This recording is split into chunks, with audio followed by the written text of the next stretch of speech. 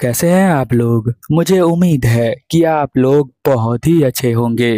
True beauty के episode number eight में आपका स्वागत है। ज़्यादा देर न करते हुए इस एपिसोड को हम लोग स्टार्ट करते हैं। आप चैनल को सब्सक्राइब कर लेना। चलो फिर एपिसोड के स्टार्टिंग में हम देखते हैं। जितने भी लड़कियों ने उस ब्यूटी गेम के अंदर पार्टिसिपेट किया था, उन सभी के पोस्ट दिखाए जाते हैं, जहाँ पर अभी तक सुजिन के सबसे ज़्यादा लाइक हैं। हम देखते हैं कि यहाँ पर लिम जो होती है, पिछले एपिसोड में रोड पर जाकर डांस करती है लाइव होकर, जिसकी वजह से उसके पोस्ट पर भी बहुत ही ज़्यादा लाइक होती हैं। इसीलिए वो फ़र्स्ट कैंडिडेट बन जाती है। और आपने सही सोचा, इसने जो है ब्यूटी कॉन्टेस्ट का फ़र्स्ट राउंड क्वालिफाई कर लिया है, जिससे कि इसके दोस्त बहुत ही ज़्यादा खुश होते हैं। वो चेक कर रहे होते हैं कि वो कौन से प्लेस पे है। तो उसमें से एक दोस्त कहती है, ये फ़र्स्ट प्लेस पे है।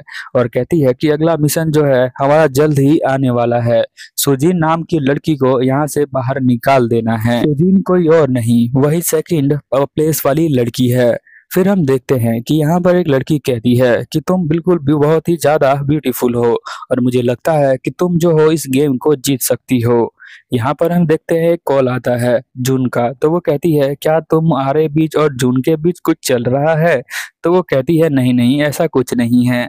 वो कॉल को उठाती है। सुजून कहता है, तुम क्या कर रही हो? वो कहती है, कुछ नहीं। फिर वो कहता है, आ जाओ फिर मेरे पास। उसके दिमाग में क्लिक होता है कि ये प्यार क्या होता है। हम देखते हैं कि यहाँ पर सुजून के पास वो चली जाती है और यहाँ पर वो पार्क के अंदर उसे बुलाता है, जो एक तरह का मेला है। छोटे छोटे बच्चे वहाँ पर कंटेस्ट करने के लिए आते हैं।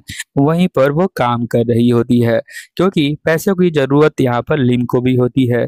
जून तो पहले से ही काम करता है। जून यहाँ से पूछता है लिम से कि, अरे, तुम जो हो, पैसों का क्या करोगी? तो यहाँ लिम कहती है, मैं उन पैसों से मेकअप का जो क्लासेस हैं, उन्हें लूँगी। वैसे तुम इस पैसों का क्या करते हो?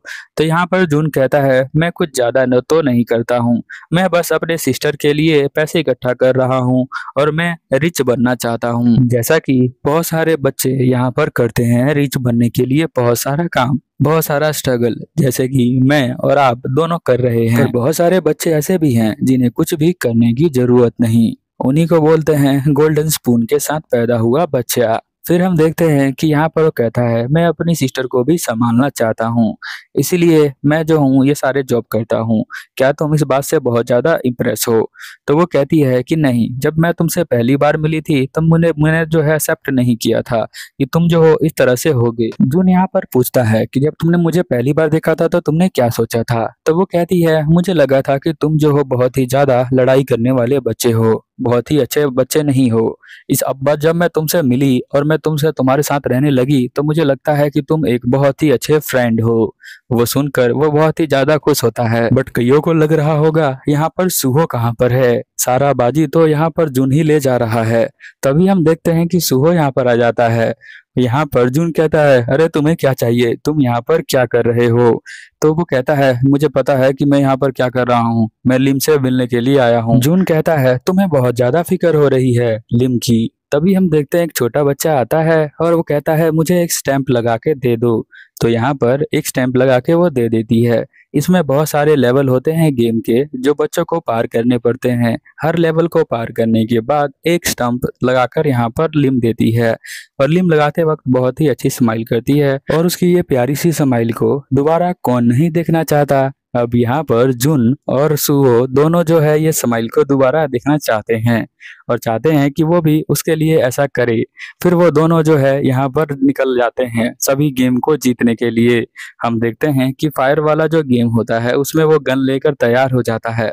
सभी को वो बड़े ही आसानी से हिट कर देता है जुन, पर लास्ट वाले को हिट नहीं कर पाता। जिसे कि सुहो यहाँ पर हिट कर देता है। सभी गेम को जीतने वाले को एक क्यूट सा टेडी बियर मिलता है। वो टेडी बियर यहाँ पर वो लोग लिम को देना चाहते हैं। इसीलिए वो दोनों आपस में बहुत ज़्यादा लड़ते हैं, क्योंकि उन दोनों को ही गेम को जीतना है और यहाँ पर देना है उसे टेडी बियर जून यहाँ पर कहता है, तुम जो हो, उसके पीछे क्यों पड़े हो? क्या तुम उसे लाइक करते हो? ये देखो, उसने जो है मेरी फ़ोटो भी बना रखी है। सुहो यहाँ पर कहता है, ये उसका असाइनमेंट है।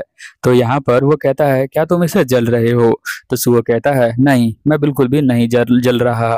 तो यहाँ पर सुबह कहता है, क्या तुम उसे लाइक करते हो? जुन कहता है, मैं तुम्हें क्यों बताऊँ? इधर हम देखते हैं, लिम जो होती है, वो यहाँ पर सभी को स्टैंप लगा रही होती है छोटी बच्ची को। इधर भाग भाग कर यहाँ पर जुन और सुहो दोनों आ रहे होते हैं। जुन कहता है, मैं स्टैंप लगवाऊँगा। सुहो कहता है, नहीं, मैं लगाने वाला हूँ। तुम जो हो यहाँ पर साइड में हट जाओ। दोनों जो है, यहाँ पर थोड़ी सी फाइट करने लग जाते हैं। यहाँ पर अर्जुन कहता है, तुम अपने लाइफ को इतने ज़्यादा रिक्स में क्यों डाल रहे हो? निकल जाओ यहाँ से। यहाँ लिम को समझ में नहीं आता कि ये दोनों लड़ क्यों रहे हैं।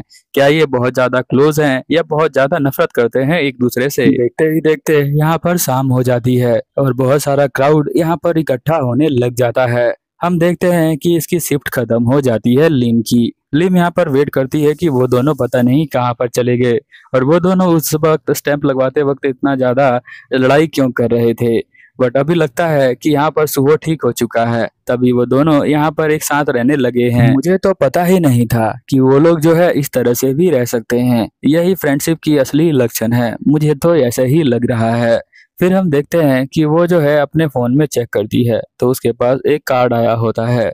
वो यहाँ पर उस कार्ड को उठाकर उसको दे देती है, जो मेजिशन होती है। यहाँ पर वो फ्यूचर को देखती है।